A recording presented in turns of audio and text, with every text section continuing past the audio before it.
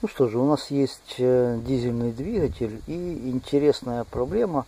Э, завоздушилась э, система эм, топлива. Причины завоздушивания может быть несколько. Приведу из них две.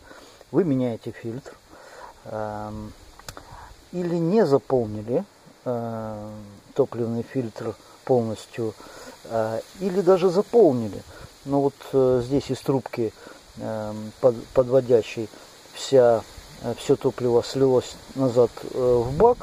Вроде бы он подхватил, но при, пришел воздух, завоздушило и не затягивает. Так получилось у меня, поэтому я и решил э, снять это видео. Или второй случай, вы в дороге э, прозевали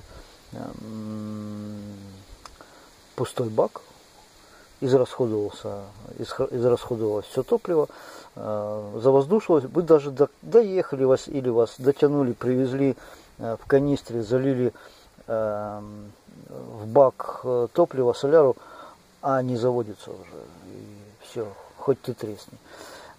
Есть хитрый способ. Такая ситуация, есть такое, можно сделать простое приспособление. Э, находите любого человека с э, отечественным, украинским, российским автомобилем и топливный насос, это Жигулевский топливный насос, э, который может решить эту проблему. Он, во-первых, подтянет с бака топлива и закачает, заполнит всю систему.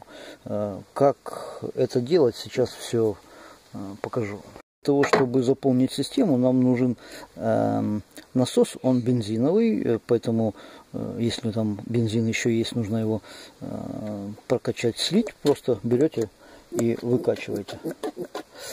Теперь нужно открыть, э, снять входную магистраль. Вот эта входная, ну тут в принципе все видно. Э, тут э, там, где клапан стоит, это обратка. Тут даже стрелочка есть, обратка в бак. Вот это подача из бака, ну и, собственно, подача с фильтра. Снимаем только одну шлангу, та, которая идет из бака в фильтр снимается просто плоскогубцами туда-сюда. Хомутик выходит и все. А дальше она вручную пойдет. Вручную имеется в виду вот так. Берем и снимаем. Ну и теперь подсоединяем. Э, стрелочка есть, куда идет вход. И э, накачиваем Э, он высосет топливо из бака. Сейчас я как раз накачиваю, чтобы видно было вот так, наверное, что сейчас не идет.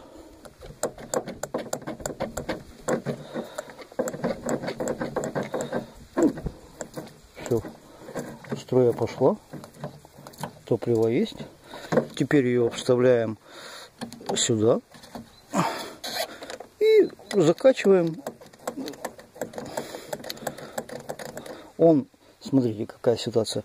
Он сначала закачивает в фильтр, заполняет фильтр и потом уже через э, заполненный фильтр начнет подавать под небольшим давлением уже в, э, насос высокого давления в ТНВД. И все, этого будет достаточно. А, поддавит, поддавит и держит давление.